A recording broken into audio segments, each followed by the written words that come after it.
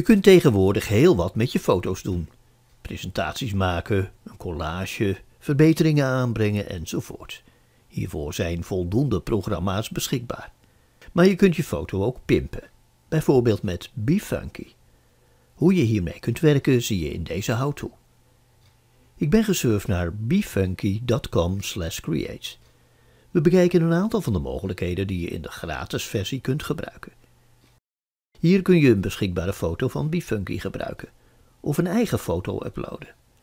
Dat laatste doe ik. Ik kies voor Dropbox.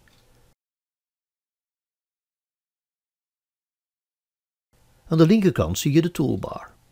Via Edit kun je zo nodig je foto draaien. Of bijvoorbeeld een uitsnede maken van je foto. Vergeet niet op het vinkje te klikken om de wijziging te bevestigen. Je ziet dat je in de gratis versie niet alle tools kunt gebruiken. Verder kun je via Auto Enhance de foto automatisch laten verbeteren. Een andere mogelijkheid is het blurren van de randen. Je kunt ook de instellingen aanpassen.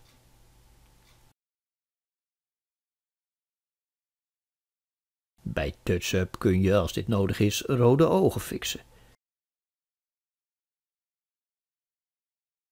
Je ziet overigens ook dat je voor heel veel tools moet upgraden.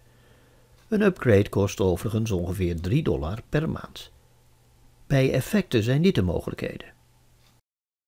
Duidelijk wordt weer welke effecten gratis zijn. Je kunt ook hier weer naar Settings.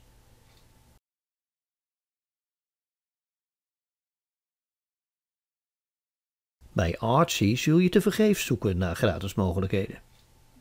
Frames heeft meer free tools.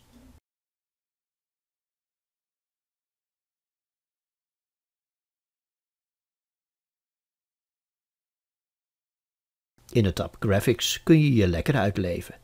Eventueel kun je je eigen graphics toevoegen.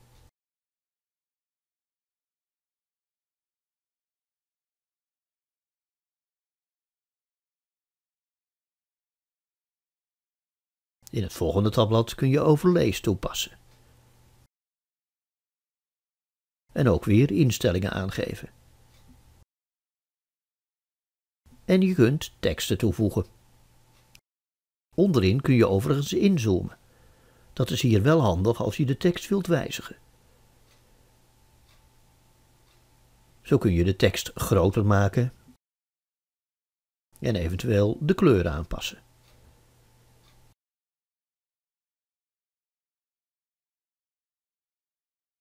De laatste tab biedt texturen, met een enkele gratis mogelijkheid.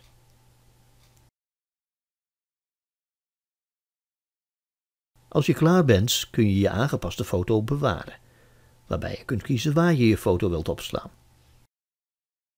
En het formaat dat je wilt gebruiken. Voor het delen van je foto moet je een account maken. Dat kan via de knop rechtsboven. Tot zover deze how-to over BeFunky.